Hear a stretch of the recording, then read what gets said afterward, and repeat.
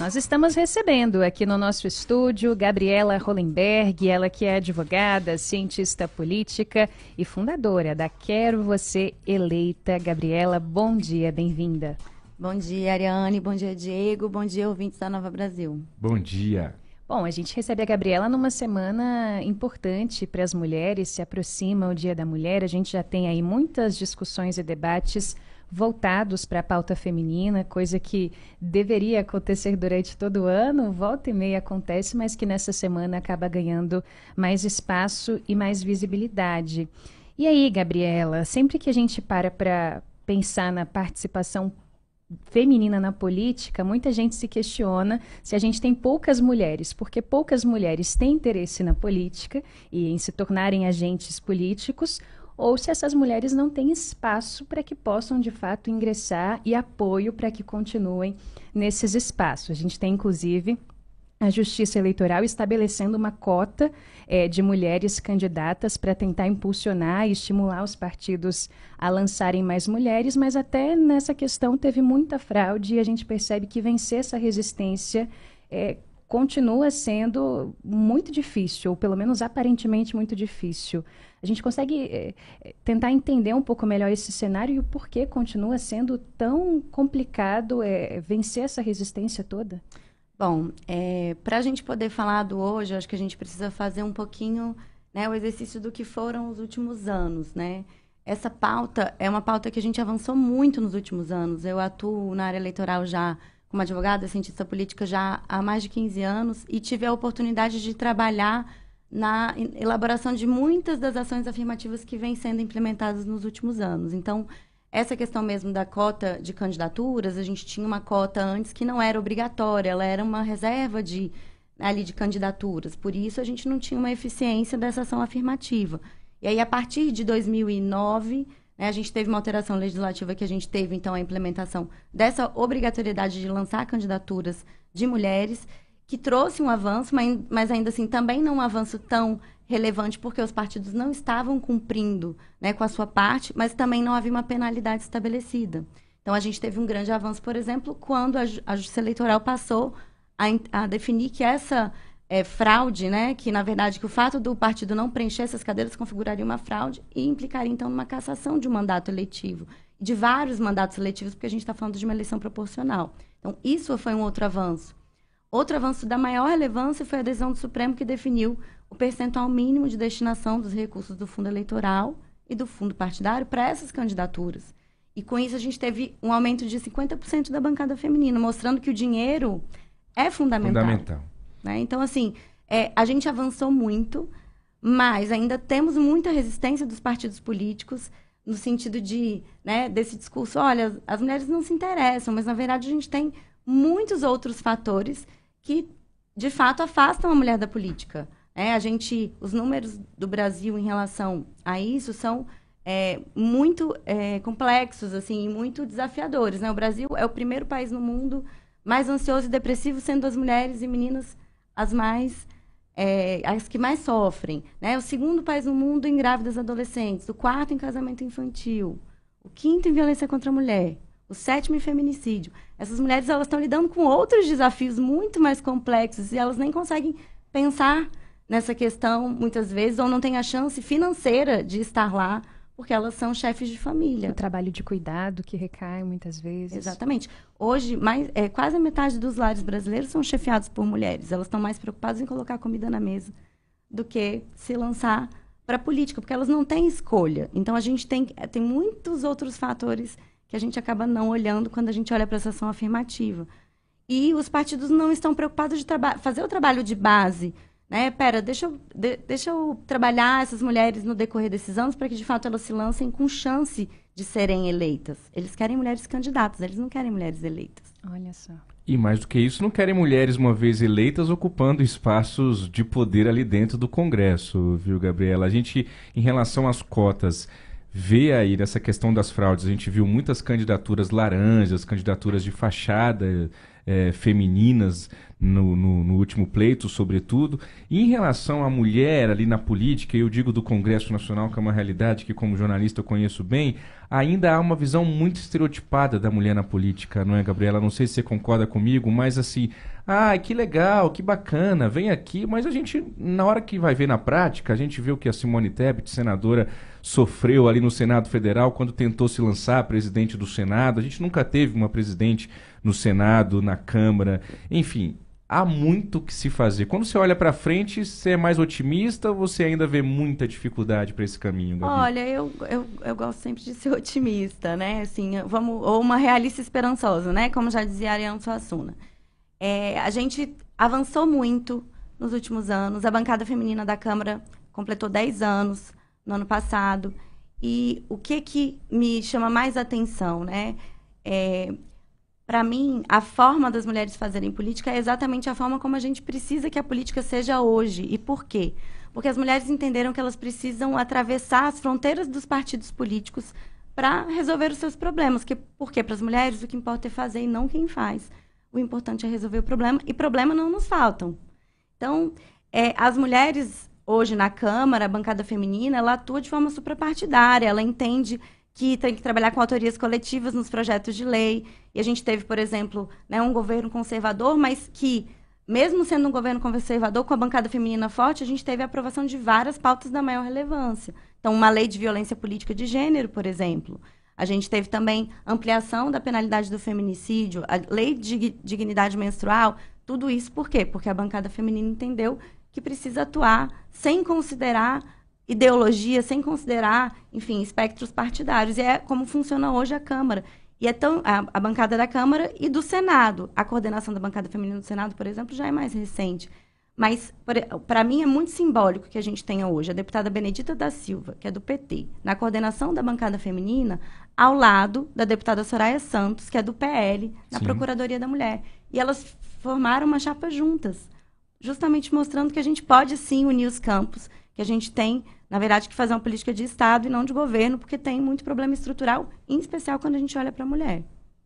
Muito bom, Gabriela. É, a gente, muitas pessoas já conhecem o trabalho da Quero Você Eleita, é um laboratório de inovação, mas outras tantas pessoas ainda não sabem como que vocês atuam. Explica rapidinho para quem está nos acompanhando, é, de que maneira vocês entram na sociedade para tentar virar essa chave e mudar o cenário que a gente tem posto hoje. Bem, Ariane, muito obrigada pela pergunta. A Quero Você Eleita é uma startup de impacto social que funciona como um laboratório de inovação política. A gente começou em 2020 esse trabalho, atendemos ali naquela eleição mais de 200 vereadores e aí entendemos justamente que o buraco é muito mais embaixo, né? Essas mulheres muitas vezes não têm acesso à internet, não têm dinheiro para pagar o transporte para poder fazer uma campanha, não tem com quem deixar os seus filhos. E a partir dessa, desse contato, a gente foi entendendo como é que a gente poderia influenciar, seja incidindo no Congresso Nacional, seja é, levando para essas mulheres formação política é, e, ao mesmo tempo, é, construindo essa rede que a gente precisa de apoio entre nós nos estados. Então, assim, a gente atua muito formando é, uma grande rede colaborativa para que a gente possa ajudar essas mulheres a se eleger nas próximas eleições. Nós temos serviços, então a gente atua com é, consultoras que são certificadas pela Quero Você Eleita, que né, é, seleciona as, melhores profissionais no mercado para poder atender essas mulheres, porque é difícil para essa mulher que vai se lançar candidata também escolher o seu fornecedor ou fornecedora. Muitas vezes Inclusive, elas são exploradas também nesse momento, porque nunca foram lançadas candidatas, de repente tem um montante de recurso. Quando esse recurso chega, porque também tem um grande problema aí que é o gargalo da distribuição dos recursos públicos para essas candidaturas.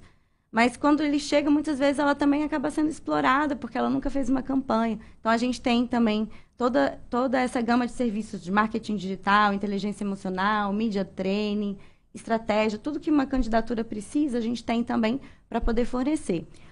Hoje, a gente está rodando o Brasil com os nossos eventos, as nossas palestras. Na sexta-feira, inclusive, eu vou estar em Campo Grande, num grande evento pelo TRE do Mato Grosso do Sul.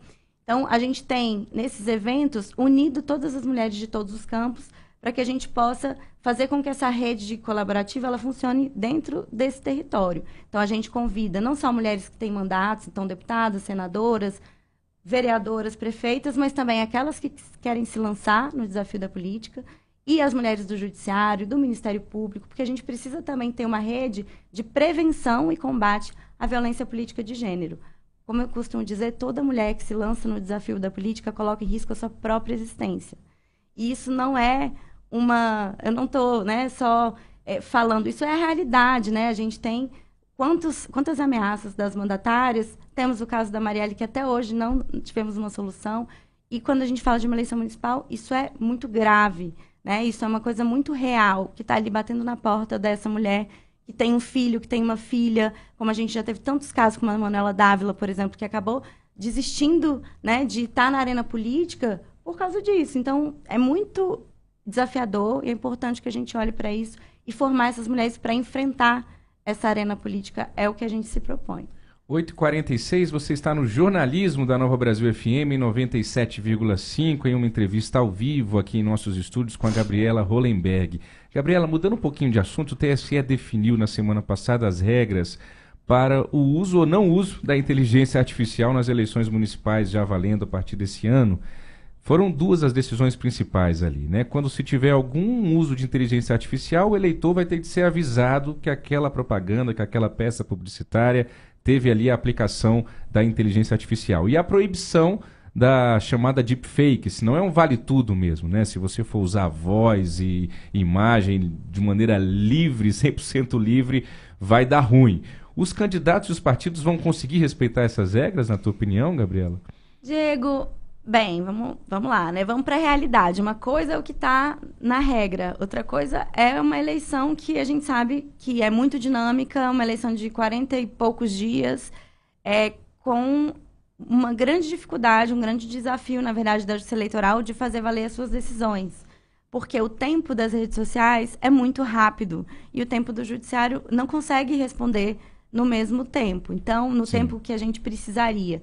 Então, é, Bem, temos essas novas regras, elas são importantes, são um avanço. Hoje, é, o Brasil talvez seja o país que tenha né, regras mais claras em relação a essa questão da inteligência artificial nas eleições, mas a dificuldade que a gente vai ter vai ser a eficiência dessas regras.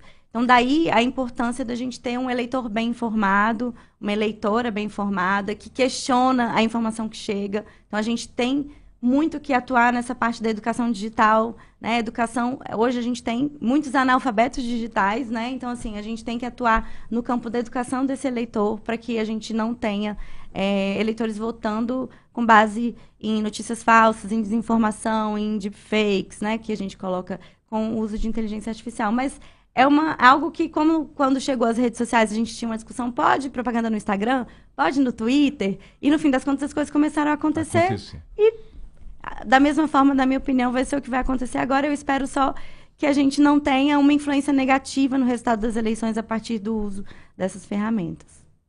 Muito bem, 8h48, seguimos por aqui. A gente está aí às vésperas das eleições municipais, em outubro. Aqui no DF, a gente, muitos dos eleitores ficam perdidos. Eleição aonde é as eleições municipais? A gente não tem, mas o resto do país tem. E aí surge, por exemplo, a janela partidária. Né? Eu queria que você explicasse para a gente quando é que os políticos podem mudar de partido sem qualquer tipo de prejuízo, como é que funciona essa janela. Então, pronto, a gente tem, né, a eleição municipal vai acontecer em outubro. Então, a gente tem agora os prazos que começam, né? O calendário eleitoral está tá aí já é, de, né, com várias datas definidas, e uma delas é a janela partidária, que é a partir do dia 7 de março até o dia 5 de abril, que é quando a gente tem aí, é, seis meses antes das, da eleição. Então, esse tempo é o tempo que os vereadores vão, vereadoras vão poder analisar né, qual é o partido, qual é a federação que eu vou querer estar na próxima eleição e aí fazer essa, essa mudança de partido sem correr o risco de perder o seu mandato. Porque a gente tem no Brasil a fidelidade partidária, que foi construída a partir de uma decisão do Supremo Tribunal Federal, que define que você, uma vez eleito por aquele partido, tem que cumprir o seu mandato naquele partido. E aí, no final do mandato, que é exatamente agora, né, que a gente vai ter eleição em, em outubro, esse parlamentar vai poder escolher fazer essa migração, se for o caso. 8 horas e 50 minutos, Gabriela Hollenberg dando uma aula de política pra gente aqui nessa segunda-feira, 4 de março de 2024. Gabriela, dá tempo da gente falar ainda sobre as chamadas sobras eleitorais. A gente teve um julgamento na semana passada no Supremo Tribunal Federal sobre esse assunto. Você acompanhou de muito perto. E é um assunto às vezes complexo. Para quem acompanha a política já é difícil de entender, para quem não acompanha, o nosso ouvinte, coitado, ele fica ali ouvindo sobre sobras eleitorais e fica tentando alcançar ali aquela discussão. Fala um pouquinho para a gente do que, que o STF decidiu, o que, que ficou decidido daqui para frente em relação a isso, por gentileza. Pronto. É um tema de fato, né? É difícil de explicar para quem não está, é, enfim, envolvido com a política, mas basicamente para que a gente possa ter uma representação proporcional, você tem a definição de um cálculo de como que é feita a distribuição dessas cadeiras. Então, a gente pega o primeiro para começar, né, o número de votos e divide pelo número de cadeiras e a partir dali você vai ter, né, a identificação do quociente eleitoral. E aí, para que o partido alcance, né, a, a, gente tem aí as fases de distribuição das cadeiras. Então, a, essa primeira fase, os partidos têm que alcançar esse quociente, têm que alcançar esse número essa nota de corte, vamos dizer assim, né, para quem Sim. faz vestibular. Então é. é mais ou menos por aí. Então, na primeira fase tem que ter 100% do quociente eleitoral e aquele candidato tem que ter pelo menos 10% de votação nominal, ou seja, votação nele. Distribuídas essas cadeiras, normalmente a gente tem as sobras, porque nem, todas as, nem todos os partidos alcançam o quociente. Você... É uma conta exata. É, né? exatamente. Então, tem algumas cadeiras que sobram. E aí, a partir disso, você tem um outro cálculo, que aí o partido tem que ter alcançado 80% do quociente e ele tem que ter candidatos que alcançaram uma votação nele próprio de pelo menos 20% desse quociente, que a gente chama aí a regra dos 80-20. E aí você faz uma nova rodada de distribuição e, e aí nessa rodada de distribuição, os, você considera as médias dos partidos. Então, assim, a, a, o critério para aquele partido ter essa cadeira na sobra é quem é que tem a maior média, ou seja, quem tem mais votos para poder estar tá ali, né, num ranking de colocação para poder ganhar essa cadeira. A terceira fase, o que, que acontece aí foi a discussão que foi colocada no Supremo. É justamente quando você já distribuiu essa primeira fase do 100% do quociente, já distribuiu essa segunda fase dos 80% do quociente e 20% de votação nominal, e aí você chega na terceira. Normalmente, quando chegamos na terceira, quando a gente tem é, estados pequenos, que tem só oito deputados, por exemplo, no caso de uma eleição geral, ou quando a gente vai para os pequenos municípios, e daí a relevância da decisão do Supremo, porque a gente tem muitos municípios que têm nove cadeiras na Câmara de Vereadores, doze cadeiras, ou seja, é mais fácil que essa última fase aconteça. E o que, que acontece? Nessa última fase, o, é, o TSE, quando elaborou a resolução, falou que só participariam os partidos desta fase que também tivessem alcançado os 80% do quociente, criando uma trava, criando uma nota de corte que não estava prevista no Código Eleitoral.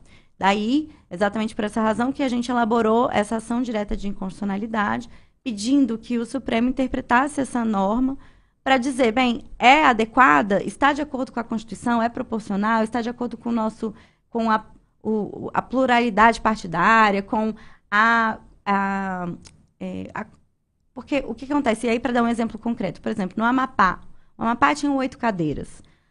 60% dos votos do Amapá não foram considerados. Por quê? Porque os partidos estavam muito próximos dessa nota de corte, que seriam os 80% do quociente, mas não alcançaram os 80%. Então, você teve uma concentração de distribuição dentre os outros partidos. E um descarte muito alto do número de votos. Então, o que a gente pediu foi uma interpretação que considerasse o maior número de votos, as maiores médias, permitindo que os partidos que tivessem médias muito maiores do que aqueles que estavam participando das demais rodadas pudessem também participar. Então, a gente conseguiu essa vitória, vai valer para a eleição municipal, no sentido de né, que a gente tenha a consideração do maior número de votos nessa última fase da distribuição, mas temos o entendimento uma. foi. É, para frente, eu sei. Frente, né? exatamente. Né? Então a gente teve uma decisão que valeu para 2024, mas estamos ainda buscando que ela também valha para 2022, porque tem uma discussão sobre o julgamento. Quando você julga inconstitucional uma regra, para que ela não valha. É, enfim, a gente fala, né? Eu não vou usar o juridiquês porque senão fica difícil. Mas para ela valer tanto para frente quanto para trás, há uma, é, uma uma previsão normativa que estabelece que o quórum tem que ser maior, tem que ser de dois terços, ou seja, oito votos dos ministros do Supremo, para que você possa ter a modulação dos efeitos, quer dizer que só vai aplicar para frente. No caso, foram apenas sete votos. Então, a gente tem uma discussão aí e isso vai ser trazido embaixo de declaração para a gente buscar né, que, de fato, todos esses votos sejam contabilizados, porque a gente entende que é mais razoável, não faz sentido que não seja assim. Muito bom. 8 horas e 55 minutos. Essa foi Gabriela Hollenberg, advogada, cientista política e fundadora da Quero Você Eleita, que conversou com a gente ao vivo aqui no Jornal Nova Brasil Brasília. Gabriela, obrigada por hoje. Volte sempre. Eu que agradeço, agradeço a vocês, agradeço aos ouvintes e boa eleição para todos, que todos votem consciente e que não se deixem enganar pelas deepfakes, pelas fake news, pelas mentiras né, busquem se informar e votar né, da melhor forma no seu candidato, na sua candidata e vote em mulheres também, né? Muito obrigado, Gabriela.